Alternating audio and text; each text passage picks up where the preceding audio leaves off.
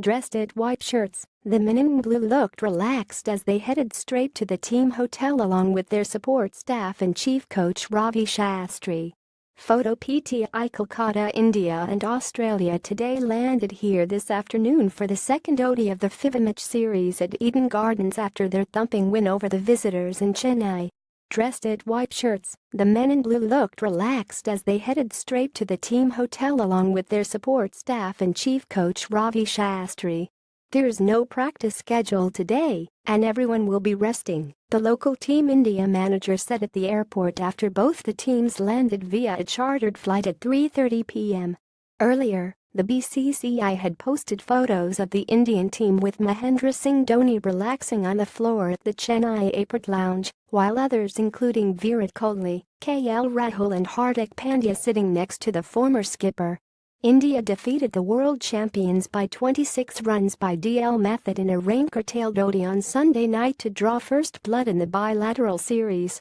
Mahendra Singh Dhoni 79 from balls and all-rounder Hardik Pandya 83 from 66 shared a century stand to propel India to 28-17 in 50 overs after they were 875 inside 22 overs. Needing 164 from 21 overs after a 12-hour rain delay in Chennai, Australia, lost their top four batsmen in eight overs as their run rate stalled to just above four runs an over Glenn Maxwell briefly gave rise to hopes of an unlikely victory when he hit 39 from 18 balls, including three consecutive sixes off left-arm wrist spinner Kuldeep Yadav, but his dismissal paved India's win for a 10 lead in the series. Indore, Bengaluru and Nagpur will host the remaining three ODIs, while three T20s will be held in Ranchi, Guwahati, and Hyderabad in the limited over series.